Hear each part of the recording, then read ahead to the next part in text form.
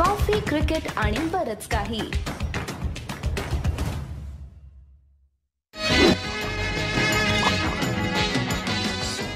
नमस्कार मंडळी. Coffee cricket आणि बरंच काही मध्ये पुन्हा एकदा तुमचं स्वागत. मागच्या भागात आपण गप्पा मारत होतो. मुंबईचे माजी यष्टीरक्षक माजी प्रशिक्षक आणि ज्यांनी स्वतःच उल्लेख केला की मुंबईच्या ड्रेसिंग रूम मधले माजी विनोदवीर विनायक सावंत यांच्याशी त्यांच्या मेमोरेबल रणजी ट्रॉफी सीझनबद्दल विनायक पुन्हा एकदा स्वागत आहे तुझं. Thank you thank you Amol thank you very much आणि थँक्यू श्रोते येस आणि अर्थात जसं आपण मागच्या भागाच्या शेवटी म्हणलं की आपण सेमीफायनल आणि फायनलच्या थराराकडे येऊच पण त्याच्या आधी विनायक तू जसा उल्लेख केलास मलाही आठवत आहे की ते बीकेसीला सुनील गावस्कर त्या वर्षी बहुतेक एकदा पेपटॉकसाठी आले होते. आणि त्याच्यानंतर त्यांनी आम्हाला सांगितलं होतं की मी विचारलं टीम मधला विनोदवीर कोण की जो खेळीमेळीने वातावरण कायम मेंटेन करतो ड्रेसिंग रूम मधलं तर सगळ्यांनी सांगितलं विनायक सामंत. त्या सीझनमध्ये दोन हजार सहा सातच्या पहिल्या तीन सामन्यात जेव्हा शून्य गुण होते अशा वेळेस तेव्हा एखादा तुझा एखादा किस्सा आम्हाला आठवून सांगशील का? की कसा तुझ्या त्या स्वभावाचा एकंदरीतच ग्रुपला फायदा झाला? युजली काय व्हायचं की मी इन्स्टंट जोक आम्ही फार करायचो. मी वसीम आणि फायदा म्हणजे कसं आहे की कोणी बॉल सोडला तर अरे बॉल गरम आहे की अरे? असं बोलायचो किंवा कोणी मिसफिल्ड करायचो तरी हसायचो आम्ही. हसल्यामुळे काय व्हायचं की प्लेयर्स एकदम टाईट व्हायचे. की आपल्याकडे हसतायत आणि मग जाऊन त्यांना सांगायचं अरे क्या बॉल गरम आहे की अरे पकडना फेर क्यू ऐसा क्यू करताय? सो अशा गोष्टी होत्या. तर इन्स्टंट आता आठवत नाही तेव्हा मी काय बोललेलो किंवा काय असे जोक केलेले पण ह्या इन्स्टंट गोष्टी होत्या. त्या आम्ही करायचो नेहमी. अशा भरपूरशा गोष्टी आहेत की कोणी कॅच सोडला तर त्याच्याकडे बघून काहीतरी डायलॉग डिलिव्हर करायचो किंवा काही हाताखालून गेला तर डायलॉग डिलिव्हरी करायचो पटकन. पण त्यांना कॉन्फिडन्स द्यायचो परत. कारण का की परत परत त्यांच्याकडे जाणार आहे. तर त्यांना एक टॅप केलं किंवा बोल चल चल यार काय कर आहे चल इम्पॉर्टंट आहे. असं एक करून त्यांना परत कॉन्फिडन्स देऊन परत वरती आणायचं. हे सगळं काम होतं माझं. आणि स्पेशली माझं काम तेव्हा व्हायचं जेव्हा विकेट जात नाहीये किंवा बॅट्समन सेट झालेले आहेत. विकेट पाटा आहे आणि आता काहीच होत नाही बॉल हलत सुद्धा नाहीये. तेव्हा ऍक्च्युली माझं काम चालू व्हायचं की मला माझ्या टीमला ऑलवेज टॉपवरती कसं ठेवायचं? आणि त्याच्यामुळे मग भरपूर वेळा त्याच्यामुळे मग भरपूर वेळा असं व्हायचं की एक शाब शाब्दिक चकमक व्हायची बॅट्समन बरोबर किंवा थोडस शिवीगाळ व्हायचा. कधी कधी काही काही प्लेयर्सना मी मुद्दामून प्रोवोक करायचो की तेव्हा गरज असायची की ती मला ती एक विकेट मिळायला की ती एक विकेट मिळाली की मग पटकन त्याच्याबरोबर दोन तीन विकेट एकत्र यायच्या. याच्यामुळे मी इकडे नेहमी सांगेन की निलेश म्हणा साई म्हणा किंवा रमेश म्हणा नेहमी पाच पाच विकेट काढायच्या. त्याच्यामध्ये एखाद विकेट माझी असायची तिकडे. एखादा खोटा कॅच उचलला एखादा खोटी अपील केली खोटा कॉट बिहाइंड काढला. कारण हे आता म्हणतात की करायचं नाहीये पण तेव्हा तसं नव्हतं. तेव्हा तुम्हाला टीमसाठी काही ना काहीतरी करावंच लागायचं.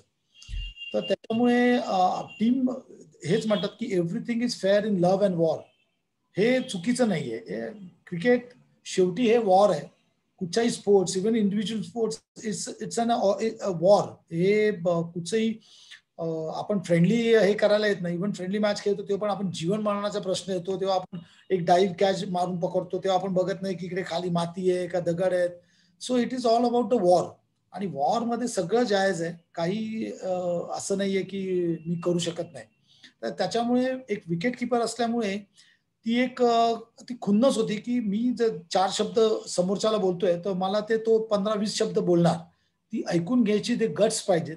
आणि ते गट्स माझ्या विकेट किपिंगमुळे ते नॅचरली माझ्याकडे निर्माण झाले. ते हल्ली मी फार विकेट किपर बोलतो ते बघा बोलायलाच बघत नाही. कारण त्यांना शेवटी झेलायचं असतं ना. सो दिस थिंग्स मी विकेट किपरना इकडे सांगेन की हे तुम्हाला शिकणं गरजेचं आहे.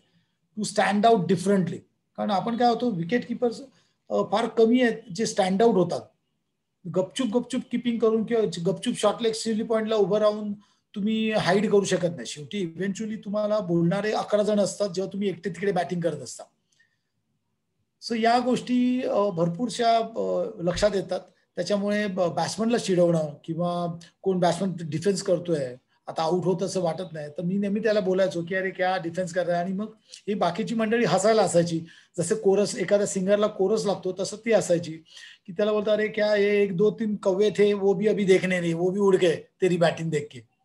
काय त्यांना प्रोवोक करायचं विदाऊट अब्युझिंग त्यांना प्रोवोक कसं करायचं? त्यांना मारायला कसं लावायचं?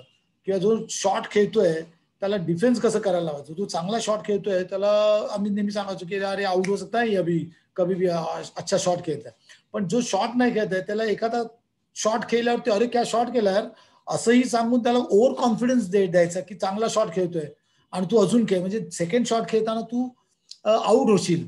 ह्या गोष्टी आम्हाला करत करत राहाव्या लागायच्या. म्हणजे ऍज अ विकेट किपर मला ते विचार करणं फार गरजेचं की विकेट किपिंग ही फक्त विकेट किपिंग नसते it's a art of sledging it's a art of समोरच्याला मी कसं अन कसं कम्फर्टेबल ठेवणार नाही अनकम्फर्टेबल कसं ठेवी it is all about wicket keeping आणि हेच मी माझ्या प्रत्येक विकेट किपर स्टुडंटला मी शिकवत असतो की स्लेजिंग करणं इज नॉट की शिवीगाळ करणं. स्लेजिंग करणं इट्स ऑल अबाउट त्याची बॉडी लँग्वेज ओळखणं. आणि त्या बॉडी लँग्वेजच्या विपरीत विरुद्ध स्थितीमध्ये त्याला नेणं हे गरजेचं म्हणजे एखादा मारणार आहे तर त्याला तुम्ही स्टडी कशी करू शकता? एखादा स्टडी खेळतोय त्याला मारायला कशी लावू शकता? ही आर्ट तुम्हाला शिकायला पाहिजे. आणि ही आर्ट तुम्हाला चातुर्याने तुमच्या सिक्स सेन्सने किंवा तुमच्या बडबोलेपणानेच येऊ शकते. आणि त्याच्यामुळे तुम्हाला ते हा आजूबाजूचं वातावरण खेळणी मेळणीचं ठेवणं हे ठेवणं फार गरजेचं असतं. आणि त्याच्यामध्ये तुमचे स्लिप फिल्डर गली फिल्डर पॉइंटचा फिल्डर तुमचा short leg slip point leg slip हे सगळे त्याच्या इजगिज असतात. त्यांचं पण ते हसणं त्यांचं साथ देणं पण इम्पॉर्टंट आहे. राईट तू जसं आता बोलता बोलता म्हणलास की एखादी विकेट ढापावी लागायचीच आणि त्यात काही गैर नाही. एक विकेट तू त्या सीझन मधली विशेष अशी मला आठवतीये की जी ढापली नव्हती पण ती अत्यंत दुर्मिळ आहे. अजित आगरकरच्या अख्ख्या कारकिर्दीत एकदाच बहुतेक त्याच्या गोलंदाजीवर स्टम्पिंग झालं होतं. की जे विनायक सावंतने केलं होतं. आणि ते मी ते बघितलंय पण तूच सांग ना ते नक्की काय झालं होतं. नाही नाही फार इंटरेस्टिंग होतं ते. ऍक्च्युली फार एकदम ती वातावरण गरम झालेलं. ते ती विकेट जात नव्हती. तुम्हाला माहिती असेल ती विकेट जात नव्हती. आणि ती विकेट काढायची फार इम्पॉर्टंट होती. आणि रन्स पण थोडेसेच राहिलेले. काहीतरी एक ऐंशी रन राहिलेले आणि ती विकेट जात नव्हती. तर बॉल आला माझ्याकडे आणि मला हे माहिती होतं रूल्स तर मला माहिती होतं की जिथपर्यंत विकेट किपरच्या हातातून बॉल जात नाही तिथपर्यंत तो डेड होत नाही. असं असतं. आणि तो माझ्या हातात आला आणि तो बॅट्समन पुढे गेला. पुढे गेला बघितल्यावर लगेच तो मी थ्रो केला आणि त्याला आउट केला. तर तो स्टम्पिंग तो माझ्या नावाने तो एक आला तिकडे. पण तो फार इम्पॉर्टंट होता त्या वेळेला कारण तो ती विकेट तेव्हा पडत नव्हती. आणि जवळजवळ ते दोन ते अडीच तास ती ती पेअर बॅटिंग करत होती. आणि ती विकेट गेल्यानंतर लगेच ते ऑलआउट झाले. तीन विकेट होत्या त्या फटाफट पडल्या. आणि आपण चांगला चांगले रननी थ्रू झालो त्या याच्यामध्ये. या छोट्या छोट्या गोष्टी असतात. त्याच्यामध्ये तुझं तुमचं अलर्टनेस तुमचा म्हणतात ना की अलर्टनेस फार इम्पॉर्टंट असतो. तुमचा सिक्स सेन्स इम्पॉर्टंट असतो. तुमचा कॉमन सेन्स इम्पॉर्टंट असतो. अशा एक नाही अशा भरपूरशा गोष्टी आहेत. ज्या अननोईंगली मी आउट केलेले आहेत. फॉर एक्झाम्पल मी नेहमी सांगतो की मी गौतम गंभीरला एक्सेसिव्ह अपील करून त्याला राग उत्पन्न करून तो शेवटी एक शॉट मारला आणि आउट झाला. तर अशा काही गोष्टी आहेत. कारण जे युजली काय असतं की तुम्हाला विकेट किपरना नेहमी समोरचा प्लेअर अग्रेसिव्ह आहे का डिफेन्सिव्ह आहे हे बघावं लागतं. काही काही प्लेअर असतात कोटक सारखे सितांशू कोटक किंवा वीरेंद्र सेवाग सारखे प्लेयर असतात ते शांत असतात आपल्या कामामध्ये बिझी असतात आणि त्यांना उगाच खोड करणं चांगलं नसतं सितांशू कोटक कोटकला समजा काही बोललो मी तो अजून खडूस होऊन अजून चांगला खेळणार किंवा सारखा प्लेअर आहे त्याला उगाच काय बोललो तर तो अजून बॉलरवरती चढून अजून मारणार आणि आऊट पण होणार नाही हे अशी गोष्टी आहेत त्यांना तुम्ही कसे हँडल करू शकता किंवा शिखर धवन वगैरे शिखर धवन युजली नॉर्थचे प्लेयर हे थोडेसे अग्रेसिव्ह आहेत त्यांना कशी चावी द्यायची? त्यांना काय बोलायचं? की जेणेकरून ते आउट होतील आणि आपल्याला विकेट मिळेल. सो या छोट्या छोट्या गोष्टी मी नेहमी इम्प्लिमेंट करायचो आणि मी सक्सेसफुल व्हायचो त्याच्यामध्ये. कारण जे मी मी सांगितलं ना की मी जे सिक्स सेन्सनी जे यूज करायचो ना मी स्लेचिंग करणं म्हणजे फक्त शिव्या गाडी करणं हे नव्हतं. स्लेचिंग करणं म्हणजे वेगवेगळ्या प्रकारचं एक पैलू असतात. तुम्ही त्याला मेंटली डिस्टर्ब कसे करू शकता? आणि मी हे नेहमी ते ट्राय करायचो. की कोणी जर मेंटली डिस्टर्ब शिव्या घालून करेल तर शिव्या घालायचो. कोणतरी डिस्टर्ब व्हायचं की त्याला एखादी जागा दाखवून किंवा एखाद्या असे भरपूरसे बॅट्समॅन आहेत ज्यांचे रुटीन ब्रेक केल्यानंतर ते डिस्टर्ब व्हायचे. असे पण भरपूर बॅट्समॅन आहेत. तर मी त्यांचं रुटीन डिस्टर्ब करायचो. आणि विनायक सीझनकडे परत येताना म्हणजे तू आता आपण त्या स्टम्पिंगबद्दल बोललो ते होतं राजस्थान मॅच मध्ये. त्याच्या आधी रोहितने दोनशे केले तू म्हणलास तसं. गुजरातच्या अगेन्स्ट बोनस मिळाला. तू ती शेवटची विकेट होती ती पंकज सिंगची विकेट होती. वाली त्याच्यामुळे तो राजस्थानच्या बोनसवर शिक्कामोर्तब झालं. त्याच्यानंतर महाराष्ट्राची मॅच की जी सेमीफायनलच्या आधीची सर्वात मोठी मॅच होती कारण काय शेवटी चंदू सर कोच आणि साईराज भाऊ कॅप्टन महाराष्ट्राचे. आणि आदल्या वर्षी त्यांनी वानखेडेला येऊन हरवलं होतं मुंबईला. हरवलेलं तर त्या मॅचची एखादी आठवण आम्हाला सांगशील का? महाराष्ट्राच्या मॅचला आम्ही एकदम सॉलिड बॅटिंग केलेली. म्हणजे पाचशे पंधरा केलेले आम्ही. आणि मेनली तर आपला साहिल कुकरेज यांनी एकशे चौदा रन केलेले त्या मॅचला जाफरनी सेव्हन्टी एट केलेले म्हणजे मोठा स्टार्ट मिळालेला. वन डाऊन आलेला आपला हिकेन शाह. हिकेन शाहनी त्याच्यामध्ये एकशे बारा केलेले. त्याच्यामुळे महाराष्ट्राला डोकं काढायला वेळच मिळाला नव्हता. कुठेच. आणि अजित अजित आगरकर सारखा बलाढ्य एक पेस बॉलर होता त्या विकेटवरती आपल्याकडे ज्यांनी चार विकेट काढलेल्या पाच विकेट काढलेल्या फर्स्ट इनिंग त्याच्यामुळे आपण थ्रू आउट सॉल्ड क्रिकेट खेळलेलो म्हणजे त्यांना कधी गेम मध्येच यायला दिलं नाही महाराष्ट्र टीमला कारण एवढी मोठी पार्टनरशिप झाल्यानंतर ती कुठे खंडित होता कामा नये. आणि तुझं बघशील तर आपण पाचशे पंधराला आठला डिक्लेअर केलेला. हो. आणि त्याच्यामध्ये दोनदा ऑल आउट आहे. एकशे नव्वदला ऑल आउट केलेलं आणि एकशे एकाहत्तरला ऑल आउट केलेला आणि ही म्हणजे आपली मुंबई टीम तेव्हा एवढी फॉर्ममध्ये होती. कारण म्हणतात ना जसं मुंबई इंडियन्स हो, व्हायचं की पहिल्या दोन तीन मॅच हरल्यानंतर ते एकदम फॉर्ममध्ये यायचे आणि मग जिंकून जायचे.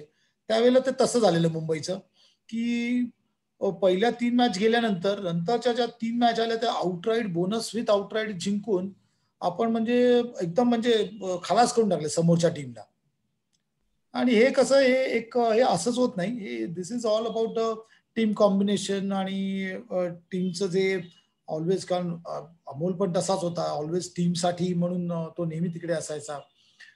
प्रवीण असाच होता. प्रवीण पण टीम मॅन होता.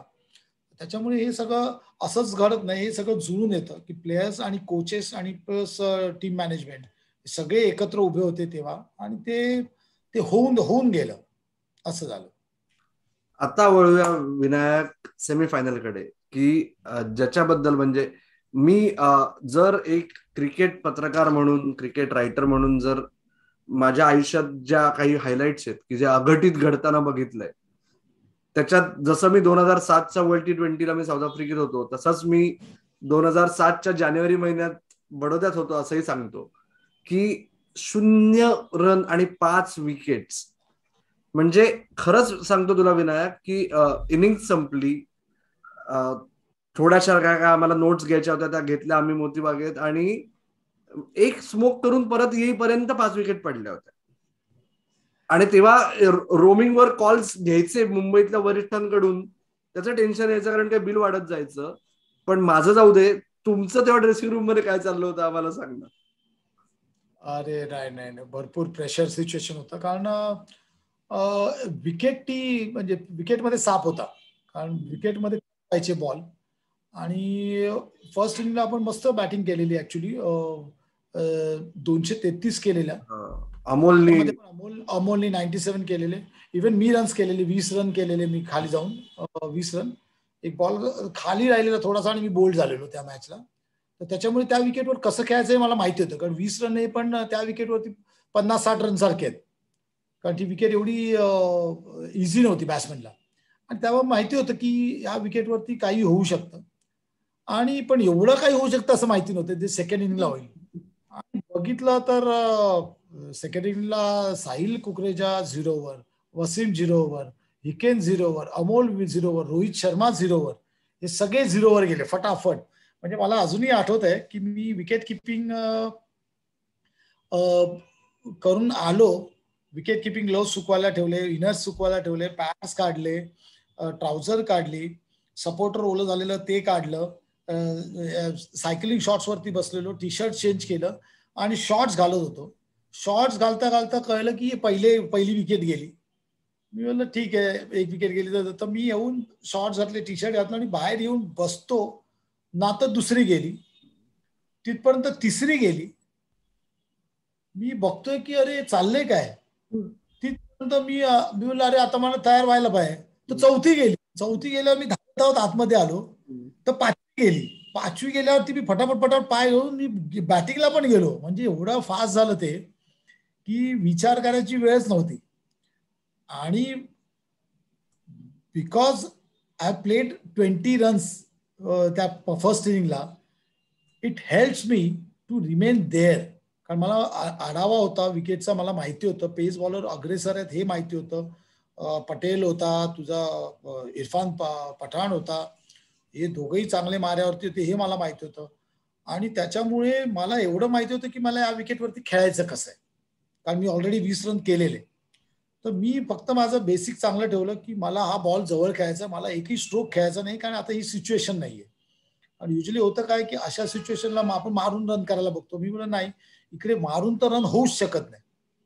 आणि त्याच्यानंतर मग माझ्या हा आऊट झाला नायर आऊट झाला एक अठरा वीस रनवरती आणि विल्किन मोठा आला. विल्किन मोठा आल्यावरती मी पहिलं विल्किनला सांगितलं की यहाँ पे एक बी शॉट्स नाही ना फुल टॉस आएगा तो बी डिफेन्स कर. आणि मला अजूनही आठवत आहे त्या त्या मॅचचा मॅन ऑफ द मॅच मी नव्हतो. त्या मॅचचा मॅन ऑफ द मॅच होता पिनल शहा. विकेट किपर कारण मी हे बोललो शब्द मी विल्किनशी बोललो. मी नॉन स्ट्रायकर ला येऊन उभा राहिलो. त्या पटेलनी बॉल टाकला यांनी जर शॉर्ट बॉल यांनी कट मारला. एज घेतली आणि पिनल शहानी असा हातातला कॅच सोडला. बरोबर. सोडल्यानंतर मी ज्या शिव्या घातल्यात विल्किन मोठाला ते तेवढ्या त्यांनी कधी आयुष्यात कधी ऐकल्या नसेल मी भरपूर शिव्या घातल्या आणि मी त्याला सांगितलं की इकडे आपण मॅच वाचवायला आहोत. इकडे मॅच तुला अट्रॅक्टिंग स्ट्रोक घेऊन शंभर करायचे नाही तिकडे. इकडे वीस पंचवीस केले तरी भरपूर झाले. तर मी भरपूर शिव्या हादर हादड हादडल्या त्याला आणि सांगितलं show your attitude now now you don't have to play any kind of shots एक पण शॉट्स केला ना मी इकडे जाताना तुला बॅट मारणार एवढं लक्षात ठेव. एवढं मी चिडलेलो त्याच्यावर. कारण अटीतटीचा सामना होता. आपल्याला फक्त थोडेसे रन वाढवायचे होते. ऑलरेडी आपल्याकडे चांगला स्टार्ट होता. ऐंशी पंच्याऐंशी रनचे होते आपल्याकडे. तिकडनं आपण जर अजून एक शंभर रन करतो तर आपण एकशे पन्नास एकशे चाळीसला पण ऑल आउट केला असता. पण ते तो थोडेसे रन्स असणं गरजेचं होतं. तर मी त्याला आणि ती मग ती जी आमची पार्टनरशिप झाली ती फार इम्पॉर्टंट होती. आणि त्या पार्टनरशिपने ऍक्च्युली ती मॅचला संपूर्ण शेप दिला. त्यांनी तीस केलेले तेहतीस केलेले सिक्स केलेले. बरोबर. आणि ते आम्हाला संपूर्ण आम्ही त्यांनी तिकडनं आम्ही तारून आलो तिकडे. आणि जेव्हा मी नॉट आऊट आतमध्ये येत होतो तेव्हा आपले नितीन दलाल मॅनेजर होते. ते एका जागेवरती बसलेले. अमोल ज्या जागेवरती बसलेला तसाच तो बसला. अजिबात हल्ला नव्हता. म्हणजे एवढं सुपरस्टेशन होते. सगळे त्या जागेवरतीच बसलेले. आपापले मी आम्ही आतमध्ये आलो तरी. आतमध्ये आल्यानंतर सगळ्यांनी आले वरती मला शाबासकी दिली आणि असंच खेळायचं उद्या पण हे आपण सगळं. पण त्या तिथपर्यंत आपला दोनशेच्या आपण आसपास आलेलो. आणि आपल्याला एवढं कॉन्फिडन्स होतं की आता आपण मॅच सरस आहोत. आता आपण इकडनं मॅच हरू शकणार नाही. एवढा कॉन्फिडन्स होता. आणि तो कॉन्फिडन्सच इम्पॉर्टंट होता. पण त्या झिरो वरती पाच बघितल्यानंतर आपला तो कॉन्फिडन्स सगळ्यांचाच गेलेला. की आता काय? आता काय? आता काय? आणि ती आणि त्याच्या अगोदरचा पण मी एक किस्सा सांगतो. त्या मॅचच्या अगोदरचा. हा मला त्या मॅच त्या फायनल जिंकल्यानंतर अमोलनी सांगितलेलं. ती मॅच मी ड्रॉप होणार होतो. त्या मॅचला मला आपल्या मुंबईतलाच एक प्लेअर होता त्यांनी मला ऑलमोस्ट ड्रॉप केलेला. म्हणजे पंधरा मधनं बाहेर काढलेला. आणि अमोल आला खाली. टीम सिलेक्शन झालं. अमोल आणि प्रवीण आला खाली.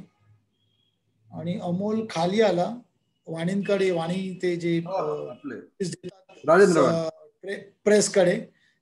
ती ती देणार होते. आणि अमोल टीम सिलेक्ट करून खाली आले. गाडीमध्ये बसला. गाडीमध्ये बसून गाडी चालू केली. गाडी चालू केल्यानंतर त्याला लक्षात आलं की काहीतरी चुकतोय आपण. दिस इज नॉट डन त्यांनी प्रवीणला फोन केला.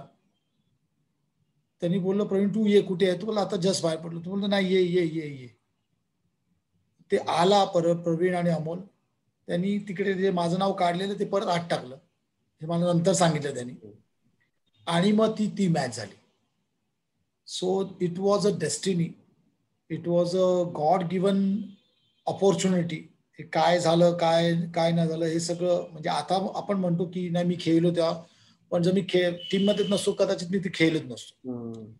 त्या गोष्टी असतात. आणि म्हणूनच प्रवीण म्हणा किंवा अमोल म्हणा किंवा मी म्हणा आम्ही आपण आपण सगळेच देवावरती फार अवलंबून असतो. या या गिवन ऑपॉर्च्युनिटीज आणि ते तो करून घेतो. आपण काही करत नाही. आपण फक्त निमित्त मात्र असतो. फक्त एकच आहे की इकडे तुमचा स्मार्टनेस इकडे तुमचा ऍटिट्यूड इकडे तुमचे जिगरबाज असणं हे इम्पॉर्टंट आहे. बाकीच्या गोष्टी होत जातात. बाकीच्या गोष्टी होत जातात. So these are the things हे म्हणजे एक रोम हर्ष जे काटे येणार हे होतं तेव्हा. पण तेव्हा काय आम्ही खेळत होतो. त्याच्यामुळे तेव्हा तसं नव्हतं. आता ते कळतं. जसं for example Kapil Dev sir world cup जिंकल्यानंतर त्यांना कळलं की त्यांनी काय अचीव करत असताना ते त्या गोष्टी लक्षात येत नाही. त्या होऊन जातात. बरोबर. बरोबर. प्रश्नच नाही प्रश्नच नाही विनायक. आणि जसं सेमीफायनलमध्ये विनायक पावला आणि त्याच्यानंतर परत तुम्ही मुंबईत आलात बडोद्यातून आणि अर्थात वानखेडेला तेंडुलकर विरुद्ध गांगुली रोहित शर्मा विरुद्ध मनोज तिवारी आणि झहीर खानचा मुंबईसाठी डेब्यू म्हणजे विनायक सामंतच्या आधी मुंबईच्या संघात असताना आणि विनायक सामंत खेळल्यानंतर कित्येक वर्ष अजून थांबून मग परत मुंबईत येऊन खेळताना. पण तेव्हाचा झहीर कसा होता? कारण काय ती मॅच टेरर होती रे. झहीर म्हणजे झहीर पीक झहीर होता तो. तर झहीरला कीप करणं आणि एकंदरीत तो कसा होता अनुभव? नाही नाही. झहीर म्हणजे पाजी पाजी. आपण बोलतो ना जसे सचिन पाजी तसा झहीर पाजी होता बॉलर्स मधला.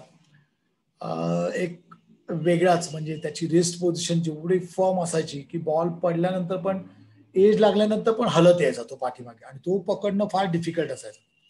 म्हणजे मी भरपूर जणांना किपिंग केली आहे पण जे बाहेर स्टम्पच्या पाठीमागे ज्यांचे बॉल हलतात त्यांना किपिंग करणं थोडंसं डिफिकल्ट असतं. तसं तुम्ही इंग्लंडला बघता किंवा साऊथ आफ्रिकाला बघता न्यूझीलंडला बघता जिकडे बाहेरच्या देशात हलतो.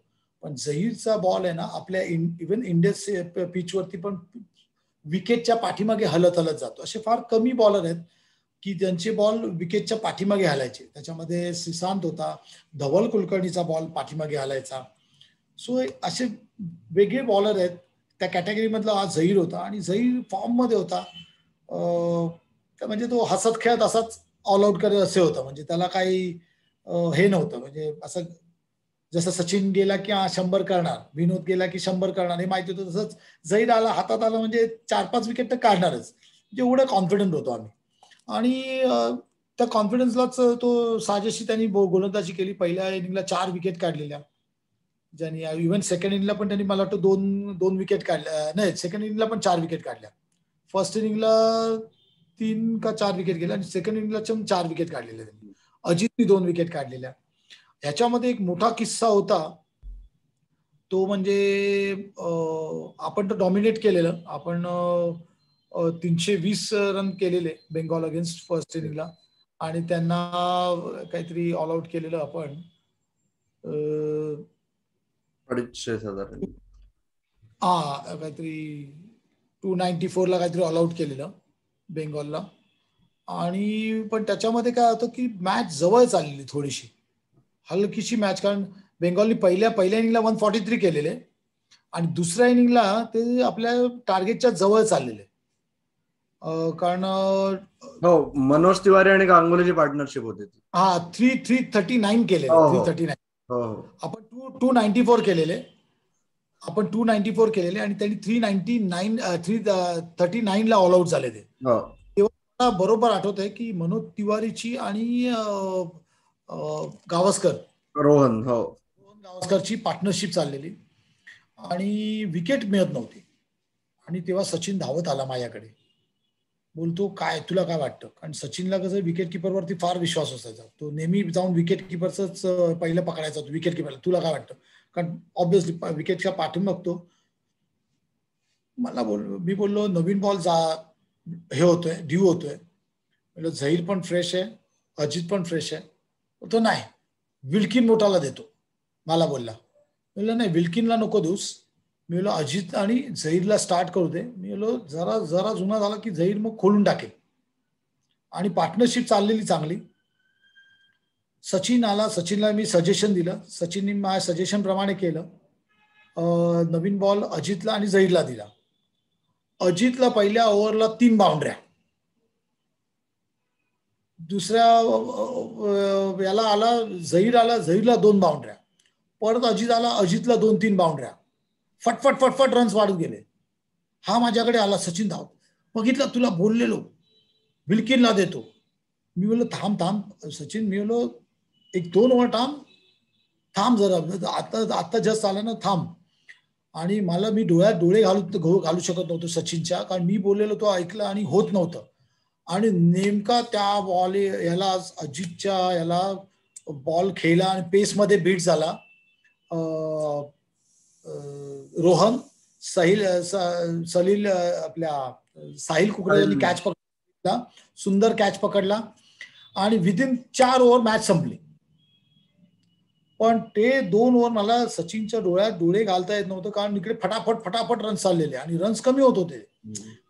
जिंकायला ऐंशी रन पाहिजे होते. असं वाटत होतं की एकदा बलाढ्य आहे पण ते मध्ये पार्टनरशिप झाल्यामुळे ऐंशी नव्वद रन एकदम जवळ वाटत होते.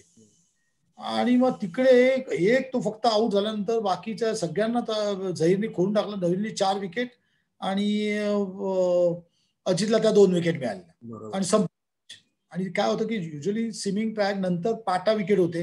त्या पाटा विकेटवरती हे झालेलं. तर मी माझं माझं असं झालं की विकेट गेल्यानंतर माझं जीव भांड्यात पडला. कारण सचिनला तोंड कोण दाखवणार? सचिनच्या डोळ्यात घालू शकत नव्हतो मी. कारण तो प्रत्येक यायला यायचं माझ्याकडे बघायचा आधी मी डोळे खाली करून पाहायचो बाजूला मॅच संपली पण नंतर मॅच संपली पण नंतर काय झालं? ते सांगा मला थोडस.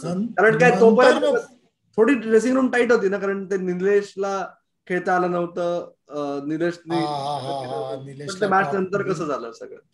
हा हा हा. नाही नाही निलेशला ड्रॉप केलेलं. कारण ऑब्विसली की थोडासा स्विमिंग ट्रॅक होता. त्याच्यामुळे ऑब्विसली जे सॉलिड प्लेअर होते त्यांना बसायला कधीच कोणाला आवडत नाही. आणि निलेश हा असा बॉलर आहे त्याला टर्निंग ट्रॅकची गरज नाहीये. तो पाटा विकेटवर पण विकेट काढतो. सो हा जो कॉन्फिडन्स होता रमेशचा साईचा किंवा निलेशचा यांना बसवायचं म्हणजे इटसेल्फ मोठं अचिव्हमेंट होतं. पण फॉर टीम कॉम्बिनेशन ते करावं लागतं. कधी कधी तुम्हाला ऑर्ड्समध्ये जावं लागतं. पण निलेश पण त्याच्यामध्ये फार चिडलेला. ऑब्व्हियसली त्याला राग आलेला. पण त्यांनी टीमसाठी होतंय म्हटल्यावर त्यांनी तो राग पुटात घातला. आणि नंतर मग आमच्याबरोबर सगळ्यांबरोबर तो उत्सव आमचा जल्लोष त्यांनी पण एन्जॉय केला. सो या गोष्टी आहेत ड्रेसिंग रूम मधल्या या भरपूरशा गोष्टी तुम्हाला ऍब्झॉर्ब कराव्या लागतात. काही काही गोष्टी तुम्हाला पचवाव्या लागतात. काही काही यश पचवावं लागतं. काही काही वेळेला अपयश पचवावं लागतं. अपयश तर पचवतो आपण पण यश पचवणं हे फार डिफिकल्ट असतं. आणि हे यश कसं पचवायचं हे मी ओव्हर द इयर मुंबई टीममध्ये राहून शिकलो. कारण सचिन तेंडुलकर विनोद कांबळी सलील अंकोला पारस वामरे साईराज भौतुले समीर दिगे तुमचा अमोल मुजुमदार नायर अभिषेक नायर धवल कुलकर्णी आविष्कार साळवी निलेश कुलकर्णी हे एवढे मोठे बलाढ्य प्लेयर आहेत. त्यांचे इगोज कसे असतात? त्यांना कसे हँडल करायला पाहिजे? किंवा त्यांना त्यांच्या इगोज बरोबर तुम्हाला कसं ते ऍडजस्ट करता आलं पाहिजे? या गोष्टी सगळ्या शिकायला मिळाल्या. इव्हन मी कोचिंग करताना पण मुंबईच्या टीममध्ये सगळे इंडियन प्लेअर होते. आता ते नाही म्हटलं तरी माझ्यापेक्षा जास्त खेळलेले तरी कोणाला कसं वाटतंय काय ते ऍडजस्टमेंट करून घेणं किंवा त्यांच्या ऍटिट्यूड बरोबर स्वतः कसं फ्लेक्सिबल राहणं या गोष्टी. पण आपलं पण मत कसं मत पटवून देणं हे पण गरजेचं असतं. या गोष्टी मला ओव्हर द इयर्स शिकायला मिळाल्या. आणि त्याबद्दल मी ऑलवेज मुंबई क्रिकेटचे फार मी फार आभारी आहे की त्यांनी मला हा चान्सेस दिले. इवन वेंगसरकर किंवा दिलीप सरदेसाई सरांचा मी फार आभारी आहे की त्यांच्यामुळे मी सिलेक्ट झालो. आणि मला मुंबईला माझं माझं माझे कलागुण दाखवण्याचा चान्स मिळाला. आणि सगळ्या श्रोत्यांचा मी आभारी आहे कारण त्यांनी मला मी कधी दिसलो नाही स्क्रीनवरती पण मला नावाने आजही ते ओळखतात. आणि it's it's gives me a lot of pleasure it's give me a lot of satisfaction की मी मुंबईच्या एका खडूस प्लेयर्सच्या यादीत आलो जे व्यंगसरकर गावस्कर रवी शास्त्री सचिन तेंडुलकर यांच्या यादीत तो मुंबईचा प्लेअर मी मला मला माझ्याकडे पण बघतात. याबद्दल मी फार आभारी आहे आणि फार नशीबवान आहे जे मला हा ह्या हे चान्स मिळाला हा चान्स मिळाला मुंबईसाठी खेळायला. विनायक शेवटचा प्रश्न आम्ही कायम विचारतो या हंगामात विशेषतः की या एका हंगामातली सर्वात मोठी शिकवण आणि सर्वात मोठी आठवण. ओके तर तू शिकवण तर आत्ताच सांगितलीस आम्हाला. एक आठवडाची सांग की जी मैदानावरची असेल मैदाना बाहेरची असेल पण जी कायम तुझ्या बरोबर राहील अशी एखादी आठवण आम्हाला सांगशील? माझी आठवण ती मैदानावरची नाहीये. मला आचरेकर सरांची एक आठवण आज आजही लक्षात येते. की ते मला कायमचं लक्षात राहतं की अगर तुम्ही कोणाचं चांगलं करू कर करू करत नसाल तर कमीत कमी वाईट करू नका. कारण त्याच्यामुळे तुम्ही कर्सेस खाता. तर आयुष्यात कधी कोणाचे कर्सेस घेऊ नका. घेतले तर ब्लेसिंग्स घ्या. कर्सेस घेऊ नका. तर हे मी या माध्यमाने सगळ्यांना सांगायला लागेन की you have to be a good human being first then sports person तुम्ही स्पोर्ट्स कुठचाही खेळा काही खेळा किती मोठ्या स्तरावर खेळा पण you have to be an good human being first तुम्ही चांगले जर माणसं असाल तर कारण चांगले माणसंच ब्लेसिंग्स uh, uh, घेतात कर्सेस घेत नाही तर uh, मला हे नेहमी लक्षात राहतं आचरेकर सरांचं कारण आचरेकर सरांकडे कसं होतं की आचरेकर सरांनी मला टेक्निकली टॅक्टिकली जास्त काही शिकवलं नाही. ते मी विकेट किपर होते पण ते नेहमी सांगायचे बॉल जिकडनं सुटला की तू बॉलच्या पाठी पाहिजे. कसा पाहिजे कसं पाहिजे ते तुला बघायचंय ते मी सांगणार नाही. बॅटिंग करताना तो टॉप हँड तुमचा चांगला पाहिजे चांगला हे पाहिजे टॉप हँडचे शॉट सरळ खेळायचं हे फक्त सांगितलं. कसं खेळायचं ते कधी सांगितलं नाही. पण या ज्या ज्या व्हॅल्युएबल आम्हाला ज्या व्हॅल्यूज दिल्या आयुष्याच्या या न अविस्मरणीय आहेत न विसरण्यासारख्या आहेत. आणि म्हणूनच सांगतो नेहमी की always earn blessings don't earn you know कोणाचे हाय खाऊ नका. हाय खाऊ नका. येस हाय खाऊ नका आणि याचबरोबर विनायक सामंतांनी आपल्याला आज जे काय त्यांचे अनुभव सांगितलेले आहेत त्यावरून तुमच्या लक्षात येईल की विनायक सामंत हाय हाय असं कधी कोणी मुंबई क्रिकेटमध्ये का म्हणत नाही. तर विनायक तू आलास आणि तुझे अनुभव आपल्यासमोर आपल्या बरोबर शेअर केलेस. त्याबद्दल समस्त सीसीबी के परिवारातर्फे मनपूर्वक धन्यवाद. थँक्यू थँक्यू अमोल मला इकडे ऑपॉर्च्युनिटी दिली तू तुझ्याबरोबर. Thanks lot thank you very much तर मित्र आजचा तुम्हाला एपिसोड कसा वाटला हे आम्हाला नक्की कळवा. कुठे कळवायचं? तर तुमचा अभिप्राय नोंदवण्यासाठी आपल्या युट्यूब चॅनलवर येऊ शकाल. कॉफी क्रिकेट आणि बरंच काही. याच नावाने आपला पॉडकास्टही आहे. आणि त्याचबरोबर तुम्हाला वेगळा अभिप्राय नोंदवा असं वाटलं अजून काही शंका असतील प्रश्न असतील तर ते आपलं ट्विटर पेज आपलं इंस्टाग्राम हँडल आणि फेसबुक पेज आहे सीसीबी के मराठी. तर आत्ता इथेच थांबूया. तुम्ही मात्र ऐकत राहा बघत राहा आणि आमची वाट पाहत राहा. धन्यवाद.